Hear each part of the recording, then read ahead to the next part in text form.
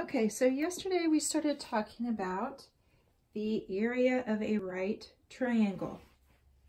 So over here I have what we figured with our um, investigation and we took a square and placed a right triangle on it and we determined that this right triangle, it takes two of them to make the square and so the right triangle is exactly half of the square. So half of a right triangle, it takes two of those, two right triangles, to equal a square.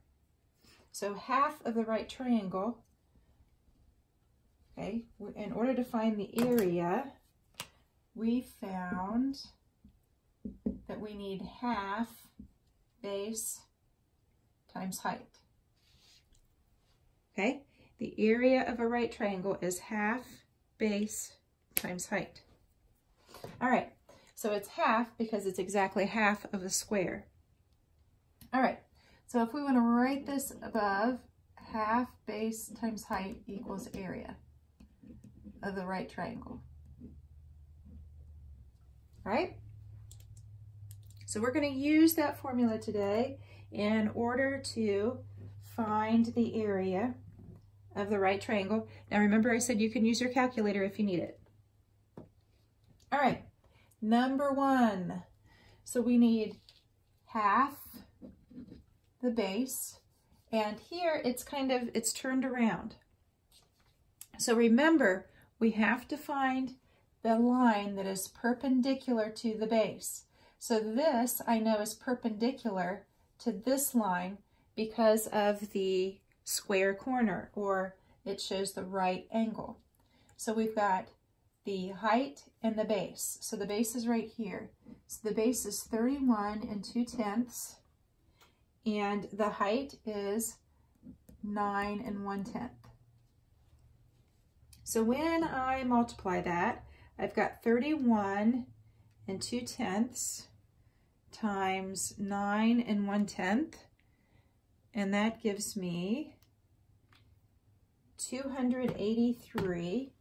So 283 and 92 hundredths, and we want half of that. So we're going to take that and we're going to divide it by half. And we've got 141 and 96 hundredths. 141 and 96 hundredths. We have to go back up and look at the measurement, centimeters squared.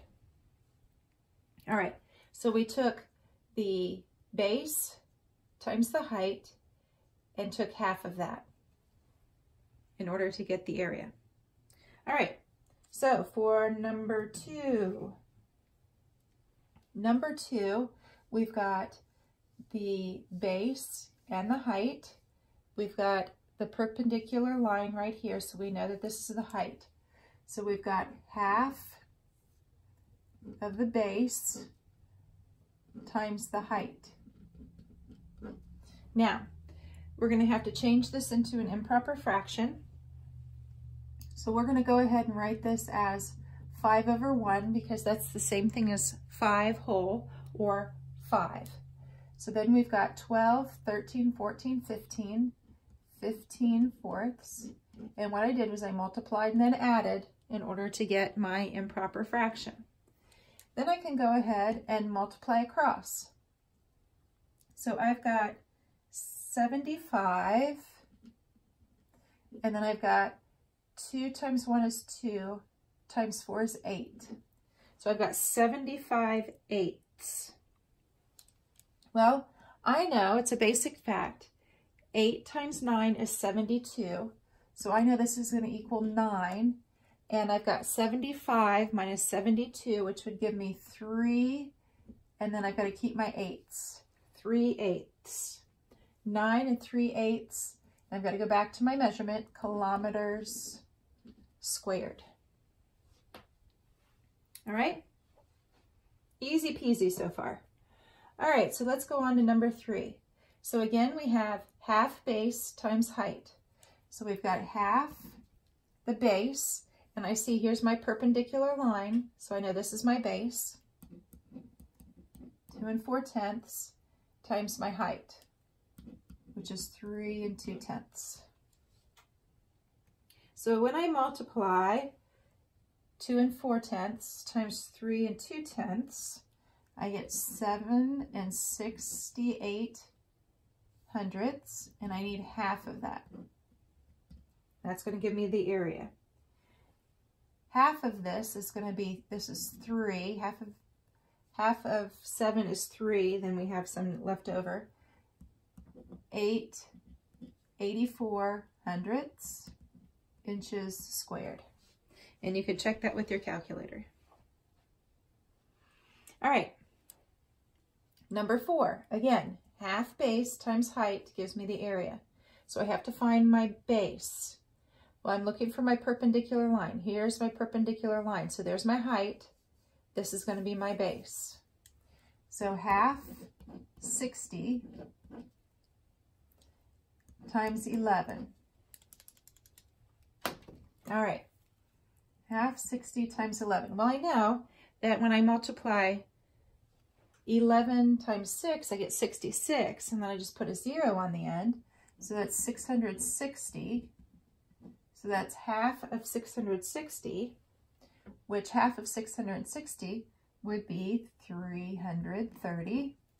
Go back up here, millimeters squared. All right, last one. So this one's upright. This is perfect the way it is. So it's easy to find the base and the height. We've got our perpendicular line right here. So we've got half base, which is 10, times the height, which is 13 and 1 third. So we're going to take half and we're going to write the 10 as 10 over 1. And we're going to write 13 and 1 third as here's 3 times 13, which is 39, plus 1 more is 40, so 40 thirds. Then we go ahead and multiply this across. 1 times 10 is 10. 10 times 40 is 400. 2 times 1 is 2. Times 3 is 6. So we've got 400 sixths. So I'm going to take 400 divided by 6, and I know there's going to be a remainder, but I've got 66.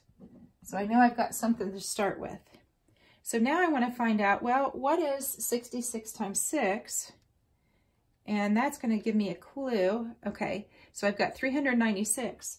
So if I take 396 out of here, I've got 4 left. So I've got 4 sixths, which can be reduced. So it'd be 66 2 thirds feet squared. All right. So there is the problem set. What I would like for you to do is I would like for you to work on the exit ticket and I want you to um, they're, they're just like these. They're pretty simple and just like these. But if you have any questions about them, I want you to email me or um, send me a text on Remind and I will get back to you. So the exit ticket looks just like these. Um, there's not much difference. So I think that this is pretty cut and dry and you may use your calculator when you're figuring the answers.